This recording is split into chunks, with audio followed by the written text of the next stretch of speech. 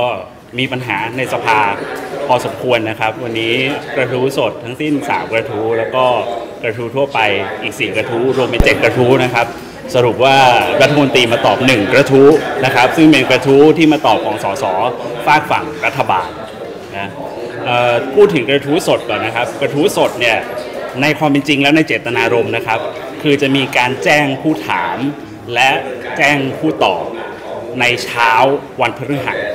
นั่นแปลว่าเจตนารมณ์เนี่ยต้องการให้รัฐมนตรี ซึ่งก็ต้องบอกว่าหลาย ๆ ท่านก็เป็นสสอยู่แล้ว มีหน้าที่ที่จะต้องมาประชุมสภาอยู่แล้วนะครับ รับทราบในตอนเช้าว่าจะมีเพื่อนสมาชิกเนี่ยสอบถามกระทู้ถึงท่านหรือไม่ และก็ท่านก็ขึ้นตอบเท่านั้นเอง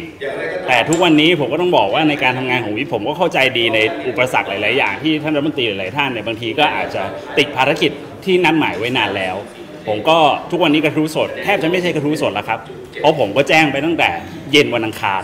ว่ารัฐมนตรีท่านนี้สะดวกมาตอบกระทู้หรือไม่ ในบางสัปดาห์ที่ทางวิปรัฐบาลแจ้งกลับมาว่าท่านติดภารกิจไปต่างประเทศอันนี้ก็เข้าใจได้ เราก็เปลี่ยนกระทู้ให้ เพื่อที่จะให้สภาเนี่ยไม่เสียโอกาส แล้วก็ไม่เสียโควต้ากระทู้ไปฟรีๆแต่ปัญหาหลังๆที่เกิดขึ้นก็คือ เมื่อวานนี้วันพุธท่านรัฐมนตรี ก็ยังยืนยันว่าจะมาตอบกระทู้ทั้งของท่านเอ่อกนวี แล้วก็ของจิรัตน์นะครับแต่ตื่นมาตอนเช้า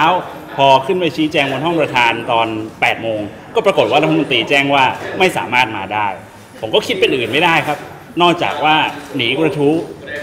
เห็นหัวข้อแล้วไม่อยากตอบไม่กล้าตอบ แต่หลาย ๆ ครั้งถ้าเป็นกระทู้ของฝากฝั่งรัฐบาลด้วยกันเอง ถามกันเองชมกันเองตบกันเองกินกันเอง ก็มากันแทบทุกครั้ง ผมก็ต้องขอเรียกร้องนะครับ ไปยังคณะรัฐมนตรีนะครับว่า ผมคิดว่าพฤติกรรมแบบนี้เนี่ย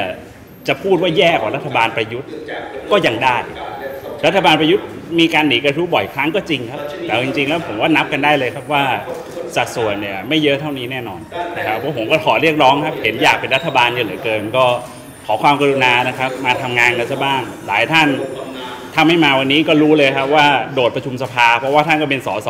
ท่านก็ต้องมาประชุมสภาอยู่แล้ว แต่ก็ไม่มานะครับก็ต้องขอฝากไปทางคณะรัฐมนตรีนะครับ แล้วก็ผมต้องขอให้เพื่อนสสที่เป็นเจ้าของกระทู้วันนี้นะครับมาพูดถึงความสำคัญแล้วก็หลาย ๆ ท่านเนี่ยก็โดนเลื่อนกระทู้เดิม ๆ มาหลายรอบแล้ว ก็ยังไม่มาตอบสักทีนะครับ แล้วก็ต้องให้ความเป็นธรรมนะครับ ท่านรัฐมนตรีบางท่าน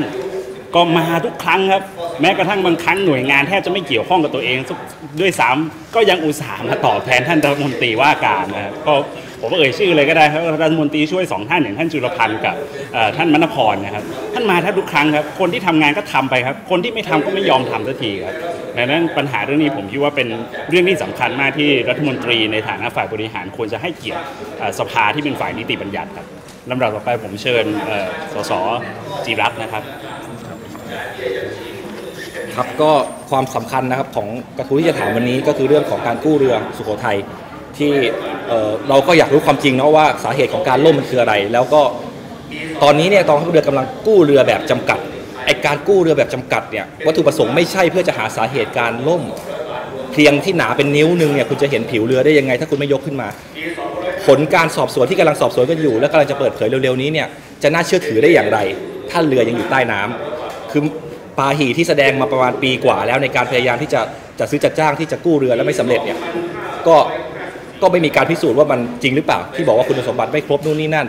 หลักฐานก็มีตั้งเยอะตั้งแยะนะครับ ก็เลยจะไปต้องถามนะเพราะว่าประชาชนก็สงสัย จริง ๆ แล้วทั้งโลกสงสัยนะครับว่าว่าเรือลบมันล่มเพราเจอคลื่นได้ยังไง เจอคลื่นแค่สูงแค่ 2 เมตรได้ยังไง แล้วก็การบริหารจัดการสภาวะวิกฤตเนี่ยมันเกิดอะไรขึ้นทำไมถึงมีคนปล่อยให้มีคนตาย ในเมื่อเรารู้ว่าน้ำเข้ามาตั้งแต่บ่ายแล้ว ก็ก็เตรียมที่จะถามท่านรัฐมนตรีครับ แต่ว่าก็ไม่คิดว่าท่านจะไม่มานะเพราะว่าเมื่อวานเนี่ยท่านรัฐมนตรีมาสภานั่งกินข้าวอยู่คนเดียวในห้องเหงาๆอยู่ผมก็เห็นอยู่ ให้คนไปถามก็ก็บอกว่าวันนี้จะมาตอบเพราะว่าเมื่อวานเมื่อวานว่างงาน แต่วันนี้กลับรับงาน แล้วก็รับงานเดียวกันกับท่านจุลพันธ์รัฐมนตรีช่วย เดี๋ยวต้องไปเจอกันที่กาญจนบุรี แต่ท่านจุลพันธ์มาตอบ ท่านสุทินไม่มาตอบ ผมก็เลยไม่เข้าใจว่าจะหนีจะหนีกระทู้ทำไมนะเพราะว่าคำถามผมไม่ใช่คำถามที่เดาไม่ได้เลย แล้วก็ คือโวห skill โวหารอย่างท่านสุทินเนี่ยตอบอะไรก็ได้อยู่แล้วนะครับ ไม่ไม่เข้าใจว่าทำไมจะต้องกลัวอะไรกับประเด็นนี้ก็เลย ก็เลยเป็นเรื่องที่น่าเสียดายครับที่ไม่ได้ถามเพราะว่าสัปดาห์หน้าเนี่ยก็ใกล้จะกู้เสร็จแล้ว กู้แบบจำกัดนะครับ ครับเรียนพี่น้องสื่อมวลชนครับของกระทู้สดที่ผมถามนะครับก็จะเป็นเรื่องเกี่ยวกับผลกระทบจากสถานการณ์ที่ความไม่สงบในประเทศเมียนมาต่อประเทศไทยนะครับจริงๆแล้ววันนี้ในพื้นที่สภาผู้แทนราษฎรเนี่ย เราเปิดโอกาสให้กับรัฐบาลชุดนี้ ได้มาแสดงจุดยืนในการทูตให้เห็น เพราะผมเนี่ยตัวผมเองเนี่ยยังไม่เห็นนะครับว่ารัฐบาลชุดนี้ได้แสดงจุดยืนในการทูตของไทยอย่างไร วันนี้ก็มีความเสียใจและความกังวล พี่น้องประเทศไทย พี่น้องคนไทยอยู่ฝั่งชายแดนไทยเนี่ยตั้งแต่จังหวัดเชียงรายเชียงใหม่ แม่ฮ่องสอนกะตากกาญจนบุรีราชบุรีระนองประจวบคีรีขันธ์ได้รับผลกระทบจากสถานการณ์ความไม่สงบในพื้นที่ของฝั่งเมียนมา ที่มากระทบของประเทศไทย มีลูกหลงหลายลูกหลงเข้ามามากตั้งแต่ 2 ปีที่ผ่านมา เราจะมีจุดยืนทางการทูตอย่างไร เรามีผู้พัดถิ่นภายในประเทศที่รอการหนีภัยเข้ามาลี้ภัยเข้ามาในประเทศไทย เป็นจำนวนล้านกว่าคน ตอนนี้มีกฎหมายในประเทศเมียนมาของประเทศของทหารพม่า ในการบังคับการเกณฑ์ทหารทำให้คนอายุ 18 ปีถึง 35 ปี โดยเฉพาะผู้หญิงและผู้ชายและเด็กด้วยนะครับหนีเข้ามาติดประชิดทางชายแดนของไทย เราจะทำอย่างไรถ้าเขาทะลักเข้ามา มันมีจุดยืนทางการทูตอย่างไร มันมีจุดยืนเกี่ยวกับสิทธิมนุษยชนของเราอย่างไร ผลกระทบต่อประเทศไทยก็ยังมีเรื่องเกี่ยวกับแรงงาน ตอนนี้ทหารพม่าชะลอการส่งแรงงาน MOU เข้ามาในประเทศไทย ทุกๆวันก่อนที่เขาจะชะลอเนี่ยมีแรงงานเข้ามา 700ถึง800 คนต่อวัน เพราะฉะนั้นเดือนหนึ่งก็มี 20,000 กว่าคน ตอนนี้กระทบมากกับโรงงานอุตสาหกรรมต่าง ๆ ของพี่น้องคนไทย เราไม่พูดถึงว่าเราจะแก้ไขปัญหานี้อย่างไร จุดยืนของเราทางการทูตของไทยของเราตอนนี้ไม่มีนะครับว่าเราจะแก้ไขปัญหาอย่างไรในประเทศเมียนมา เราจะนิ่งเฉย เราจะใช้แค่ตัวหลักการนโยบายในการไม่แทรกแซงเราจะเป็นสมาชิกที่ดีของอาเซียน แต่เป็นไปไม่ได้ครับ เราหนีพม่าไม่ได้ เรายังอยู่ตรงนี้กับประเทศพม่า เราอยู่ตลอดไป ท่านหนีกระทู้วันนี้ได้ แต่ท่านไม่สามารถหนีกระทู้หนีความต้องการของพี่น้องประชาชน ทั้งคนไทยทั้งผู้พัดถิ่นภายในประเทศและผู้ลี้ภัย ที่เขาต้องการจุดยืนที่ชัดเจนของประเทศไทยได้ วันนี้ก็ถือว่าผมเสียใจ แต่ก็ผมหวังว่าครับให้คำถามไปแล้ววันนี้ในที่สภาผู้แทนราษฎร หวังว่าท่านจะมีจุดยืนที่จะมาชี้แจงให้กับพี่น้องประชาชนคนไทย และรวมกับประชาคมโลกให้ทราบต่อไปอาทิตย์หน้า ผมหวังว่าครับขอบคุณครับกราบเรียนพี่น้องสื่อมวลชนทุกท่านครับผมชุติพงศ์พิพพินโยครับพักก้าวไกลจังหวัดระยอง ผมเป็นหนึ่งในผู้ได้รับผลกระทบจากโรคเลื่อนของคอรมอชุดนี้น่าจะเป็นคอรมอโรคเลื่อนครับ ตอนนี้ก็เป็นครั้งที่ 4 ที่ผมถูกเลื่อนตอบกระทู้เรื่องช้างป่า ซึ่งในวาระเรื่องช้างป่าเนี่ยผมก็ได้ชี้แจงในห้องประชุมไปแล้วว่า มีคนตายตั้งแต่ตอนปีใหม่จนถึงตอนนี้ทั่วประเทศทั้งหมด 13 ศพ มีช้างตายเป็นหนึ่ง มีคนตายเฉพาะในป่าตะวันออกทั้งหมด 7 คนซึ่งเกิน 50%ซึ่งในหน้าที่ของรัฐมนตรีว่าการกระทรวงทรัพยากรธรรมชาติและสิ่งแวดล้อมเนี่ยท่านคือผู้ที่ต้องมาชี้แจงแนวทางในการแก้ปัญหา แล้วคราวที่แล้วเนี่ยท่านก็ให้ทาง รองโฆษกของทางทำเนียบรัฐบาล ชี้แจงว่าท่านชอบลงพื้นที่ ชอบไปดูหน้างงานจริง ๆ ไม่ชอบมาฟังเรื่องนี้เป็นรายงาน ผมก็อยากจะถามว่าท่านได้ไปงานศพของญาติผู้เสียชีวิตสักศพหรือเปล่า ต้องรอให้ตายกี่ศพ ท่านถึงจะยอมปฏิบัติหน้าที่สักที แล้วท่านเองเนี่ยผมไม่รู้จะทำยังไงให้ท่านยอมมาแล้วหรือผมต้องถามพี่ท่านที่เป็นสสแต่วันนี้ผมไปดูใบเซ็นชื่อพี่ท่านที่เคย อยู่ในรัฐบาลช่วยแล้วก็ไม่มานะครับไม่ได้เซ็นชื่อ ไม่รู้ว่าอยู่ในห้องหลังบัลลังก์ที่ครอบครองปรปักษ์อยู่ตอนนี้หรือเปล่าเหมือนกัน อันนี้ผมก็ค่อนข้างน้อยใจคราวที่แล้วเนี่ยผมถามเป็นกระทู้แยกเฉพาะ หวังว่าท่านจะมาตอบเพราะน่าจะไม่กดดันมาก ท่านก็ไม่มารอบนี้ผมถอนมาถามในห้องใหญ่ เป็นกระทู้ทั่วไป ท่านไม่มาและเลื่อนสองครั้งนี่เป็นครั้งที่ท่านเลื่อน ขอเลื่อนมาเป็นวันนี้เอง แล้วท่านก็ขอเลื่อนอีกแล้ว ผมก็เลยถามทางท่านนายกรัฐมนตรีไว้แล้ว ท่านก็มอบหมายแล้วไม่มา ผมไม่รู้ต้องทำยังไงแล้วครับที่ให้รัฐมนตรีทำงานบ้าง ไม่กลัวโดนปรับคลมอบ้างเหรอครับ ผมก็ต้องถามทางท่านนายกเลยว่าจะเก็บรัฐมนตรีแบบนี้ไว้ทำไม ต้องรอให้คนตายกี่คน ถ้าเกิดท่านนายกก็ไม่รู้จะตอบยังไง เรื่องนี้ยังไงลงมารับฟังข้อมูลและข้อคำถามหรือข้อชี้แนะในสภาบ้างก่อนก็ได้ หรือถ้าเกิดถามท่านนายกแล้วมอบหมายไม่มา ไม่รู้ผมต้องตั้งกระทู้ถามไปยังบ้านจันทร์สองล่าหรือเปล่านะครับ ถึงจะยอมมีคนมาตอบผมสักที ปัญหาพี่น้องประชาชนเกรงใจบ้างครับไม่ใช่เกรงใจแต่โควต้ารัฐมนตรีด้วยกัน อยากเป็นกันมากครับรัฐบาล ถึงเวลาทำงานไม่มาทำงานกัน ผมเนี่ยไม่รู้จะทำยังไงแล้วครับ แล้วก็ขอจริง ๆ วันนี้ทั้งวิปฝ่ายค้านวิปฝ่ายรัฐบาลพูดเป็นเสียงเดียวกันว่าอยากให้เกียรติสภาบ้าง ไม่ใช่มาตอนมาเอาตำแหน่งกับมาตอนมาของบ หน้าที่ของท่านครับ ผู้แทนอย่างเรามีหน้าที่ตั้งกระทู้ถามให้ท่านตอบมาตอบบ้างคำถามนี้มาจากประชาชนด้วยไม่ใช่คำถามของผม ฝากท่านด้วยนะครับ ฝากสื่อมวลชนทุกท่านช่วยตามในใบประกาศจับด้วยนะครับ ตอนนี้ก็ไม่ใช่ใบประกาศจับครับใบประกาศเรียกครับ ผม ก็ยังไงก็มาด้วยนะครับพี่ท่านพี่ท่านก็มา สภาตอบไม่รู้ไม่รู้บ้างนะครับ แต่ว่านี่ไม่มาไม่มาเลยครับ แล้วก็ไม่รู้จะอยู่ทำไมทำไมเหมือนกันนะครับ ตอนนี้ฝากท่านนายกตามด้วยนะครับ เจอในการประชุมครมบ้างหรือเปล่า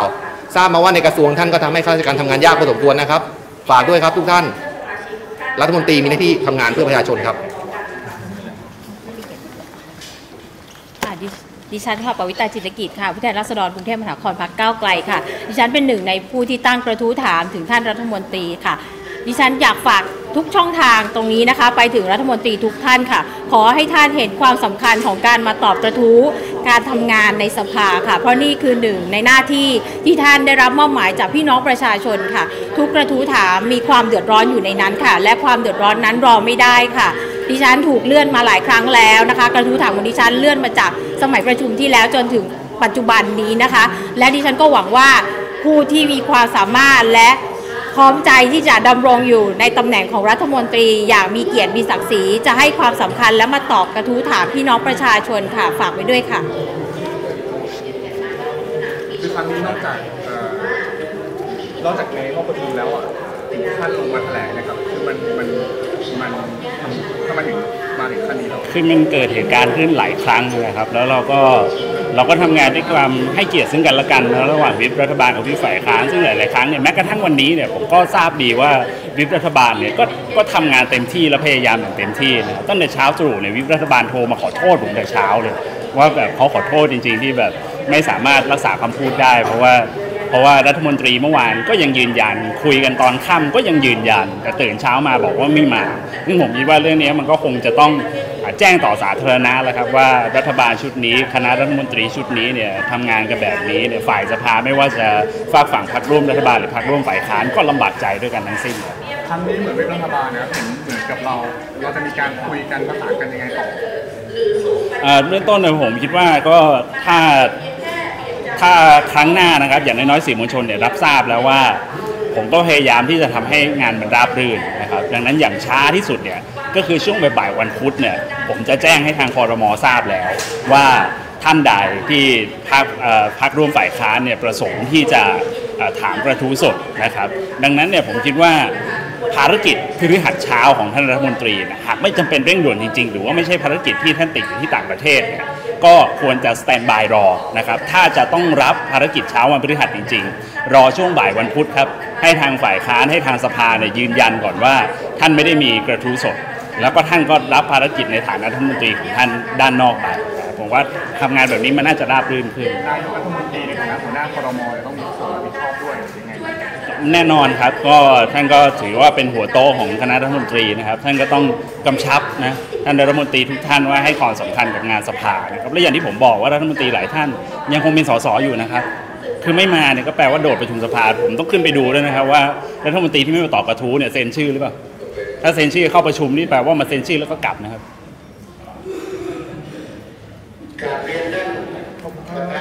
ขอบคุณนะครับขอบคุณทุกท่านครับ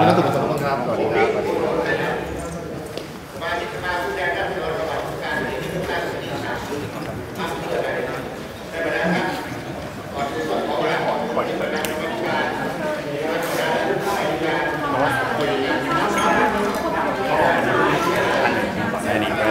อันนี้ก็เคยคุยกันบ้างโอเคว่าไม่ได้มีปัญหา เขาเต รียมที่ทำให้เดียวเขารู้อยู่แล้วว่าตอนแรกทำมาไม่คิดว่าจะได้ใช้ครับตอนแรกไม่ต้องใช้ด้วยตอนได้ใช้แต่ก็เสียใจแทนพี่น้องประชาชนที่สูญเสียต่านไม่ฝากให้ทุกคน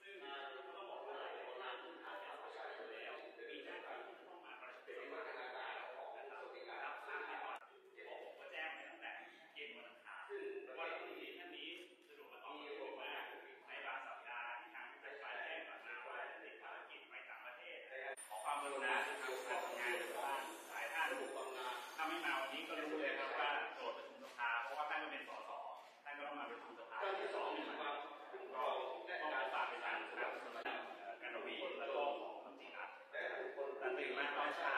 พอขึ้นไปชี้แจงกับผู้ประธานตอนแปดโมงก็ปรากฏว่าท่านตีแจ้งว่าไม่สั่ง